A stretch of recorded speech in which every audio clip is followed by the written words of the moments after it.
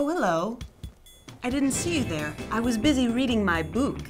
Have you heard your grandparents talk about this thing they used to do called reading? Old people are great. This is what today's video is about. But first, we need to talk about my worst vampire movies list because I was raked over the coals by everybody for listing Van Helsing as number one. And although I am very grateful to you for commenting, we need to talk about how wrong you are and how I'm not gonna back down on this one because I was in line for that movie at midnight the day that it came out. I was the one that put my heart and soul into waiting for my favorite triple threat, Hugh Jackman, actor, singer, dancer, to be in a movie about slaying vampires, and it was awful. It was awful, and I will not have people watching it on home video tell me that I'm wrong. I won't. I'm sorry. But again, thank you for commenting. I hope you subscribed so we can argue some more. And now I'm gonna take a deep breath and we're gonna talk about the best book adaptations. Mark, you remember Bridget? She used to run around your lawn with no clothes on. Starting out at number 10 is Bridget Jones' Diary. Bridget Jones, wanton sex goddess. Dad. Renee Zellweger plays Bridget, who I relate to because she's flawed and adorable, and she smokes too much and drinks too much, and she has to wear Spanx and nice dresses. Oh, me, absolutely enormous pants. Bizarre what some men find attractive. She's torn between the bad boy and the square, but even if she can't see how great she is, I totally get how men could fight over her. Should I bring my dueling pistols or my sword? Major dilemma. No, it's not, girl. These are the things every woman wishes for. Let them fight. and when Colin Firth says this, I always cry. The thing is, I like you very much, just as you are. Oh, don't cut to me now. Go to number nine. Dear friend, I haven't really talked to anyone outside of my family all summer, but tomorrow is my first day, and I really want to turn things around this year. The Perks of Being a Wallflower is unique because Stephen Chbosky wrote the book, the screenplay, and he directed the movie. And he did a great job on all three of them. Charlie is a kid who feels lonely and isolated until he meets weirdos who finally make him feel understood. Welcome to the island of misfit toys. This movie's 100% performance. Emma Watson and post Harry Potterdom is great. Why do I and everyone I love pick people who treat us like we're nothing? Logan Lerman as Charlie will rip your heart out. We accept the love we think we deserve. Ezra Miller should get an award of some kind. Call it Slut and the Falcon. Make us solve crimes. And he should get a comic book deal because I would read that. Although the movie's darker than the trailer suggests, it's all really honest and there's something in there for everyone to relate to. You see things, and you understand. You're a wallflower. I didn't think anyone noticed me. Excuse me, I've got to go write nostalgic messages on my high school buddies' Facebook walls right now. In such a big, uncertain world, it's a relief to never have to ask if a Humphrey Bogart movie is good or not. Number eight is The Maltese Falcon. Falcon has carried the mystery of a fabulous wealth under its grotesque wings. Where Bogey plays Sam Spade, a private detective who is as shady as he is sexy. I don't care who loves who, I won't play the sap for you. He's hired to help this poor woman find her sister, but you know that's not the end of the story. I haven't lived a good life. I've been bad. Worse than you could know.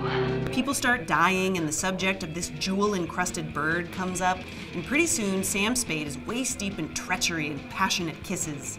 Haven't you tried to buy my loyalty with money and nothing else? What else is there I can buy you with?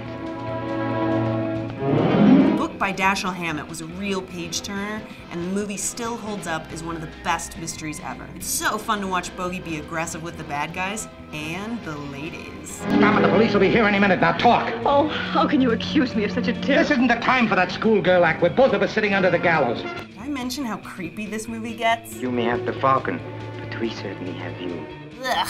Peter Lorre was so fantastically upsetting.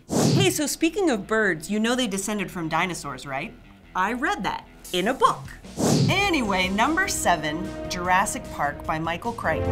What do they got in there, King Kong? was put in the hands of that director that you may know, Steven Spielberg. I saw this movie about a dinosaur amusement park gone awry when I was at a very tender age, where I didn't fully appreciate all the questions of morality and science and nature that Crichton is so good with. Uh, because I was too distracted by stuff like this. But later I got all of that. Plus, the puppet effects by Stan Winston look great. And I still get just as scared now by the velociraptors as I did back in 1993. Ah, this is why I always lock doors now. Thanks a lot, Steve. Must go faster. I feel lethal, on the verge of frenzy. I think my mask of sanity is about to slip. American Psycho by Bret Easton Ellis is a brutal and hilarious book that made it to the screen mostly intact, which is surprising considering its reliance on inner monologue. I have all the characteristics of a human being, but not a single clear, identifiable emotion. I simply am not there.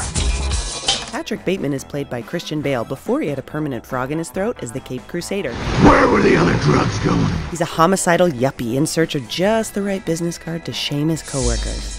Whoa, very nice. When I first saw this film, I couldn't understand how it could be so violent and make me laugh so hard. I know my uh, behavior can be erratic sometimes. But now I think I've got it. Hey, Paul! This movie is for the sicko in all of us.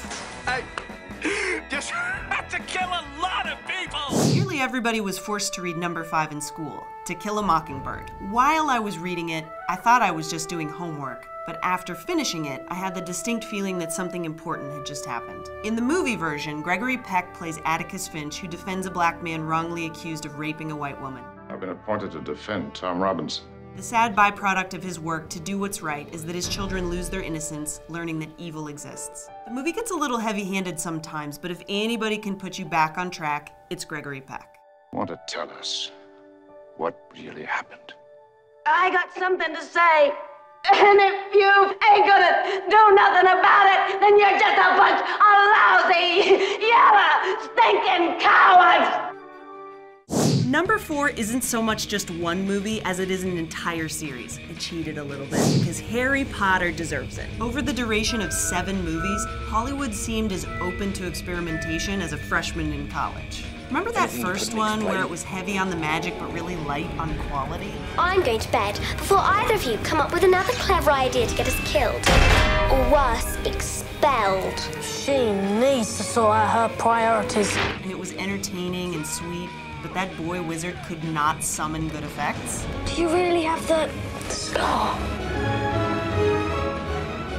Wicked. Fast forward six movies later, and everything is on point. The series got a lot darker. But you have allowed your friends to die for you rather than face me yourself. And we can finally say the name Voldemort because Harry is pushing him off buildings. Come on, Tom. Let's finish this the way we started. Together!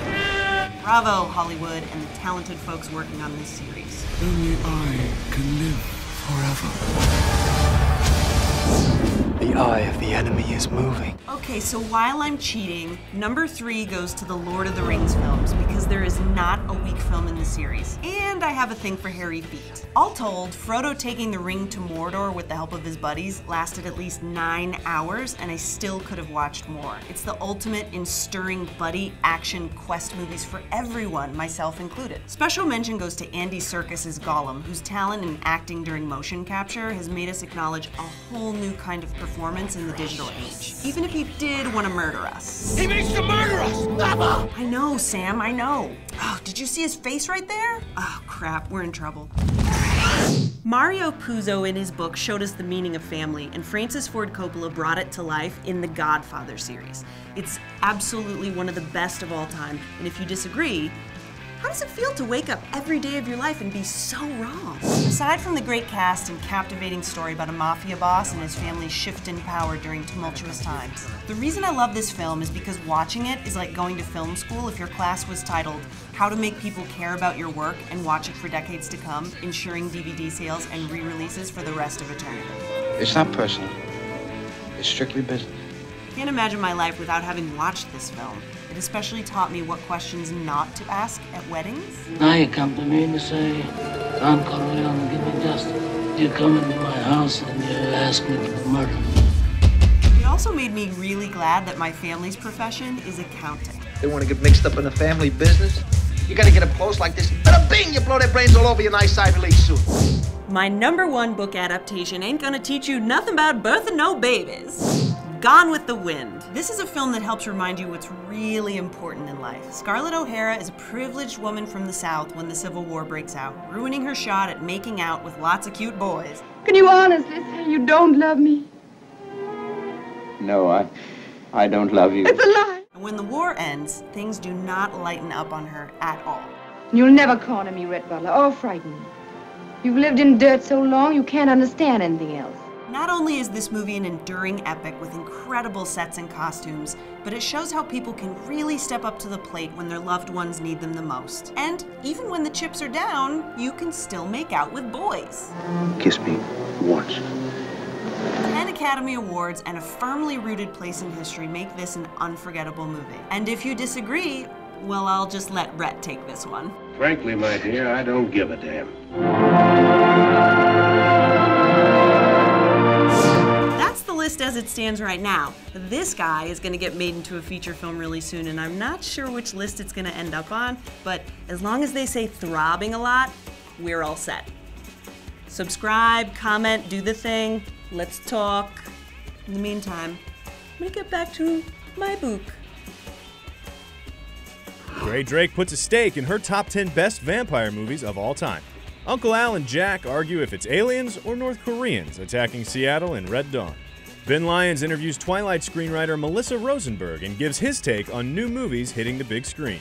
In honor of Red Dawn, Phil Gower plays Take It or Leave It with Adrianne Palicki and Josh Peck. Devin Faraci hangs out in Bob Burns' basement where he discovers some of the most amazing film and sci fi memorabilia. JB Smoove and his buddy Garfield can't get enough Twilight as they tell us what they heard about Breaking Dawn Part 2. Get your film fix. Subscribe to Cinefix.